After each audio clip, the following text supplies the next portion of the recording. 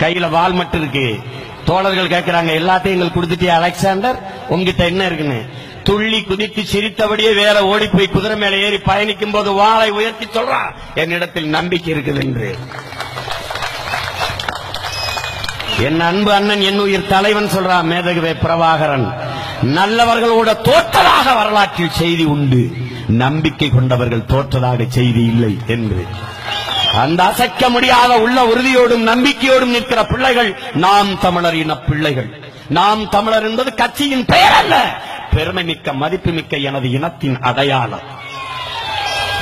என்றைக்கு சாதி மத உணர்ச்சி சாகுதோ அன்றைக்குத்தான் தமிழன் என்கிற தேசிய இன உணர்ச்சி உனக்கு பிறக்கும்.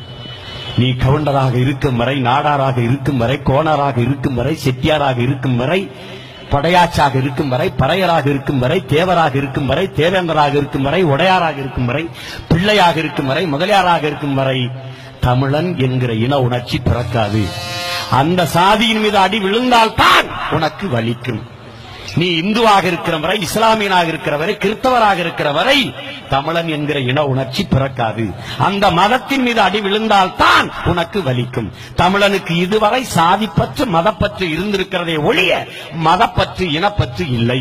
மதப்பெருமை சாதி பெருமை இருந்திருக்கிறதே ஒழிய மொழி பெருமை இனப்பெருமை இல்லை. எனவே இது வரலாற்றில் பெருமாற்றம் இந்த தலைமுறை தமிழ் பிள்ளைகள் மொழிப்பெருமை இனப்பெருமை கொண்டு நாங்கள் தமிழர்கள் என்ற தேசிய அடையாளத்துக்குள் திரண்டு கொண்டிருப்பது வரலாற்றில் பெரும் புரட்சி. சிதைந்து அழிந்து போன தாய்மொழியை மீட்டெடுத்து சாதி மதங்களாக பிளந்து கிடக்கிற தமிழ் தேசிய மக்களை கட்டமைத்து ஒரு மாபெரும் அரசியல் புரட்சியை இந்த நிலத்தில் உருவாக்கி தமிழர் அரசமைத்து தமிழ் தேசிய மக்களுக்கென்று இறையாண்மை கொண்ட அரசாங்கத்தை கட்டமைத்து இந்த அரச வலிமை அரசாங்க வலிமையை கொண்டு பறந்து விரிந்து கிடக்கிற இந்த பூமி பந்திலே தமிழ் தேசிய மக்களுக்காக ஒரு தேசம் படைப்பது.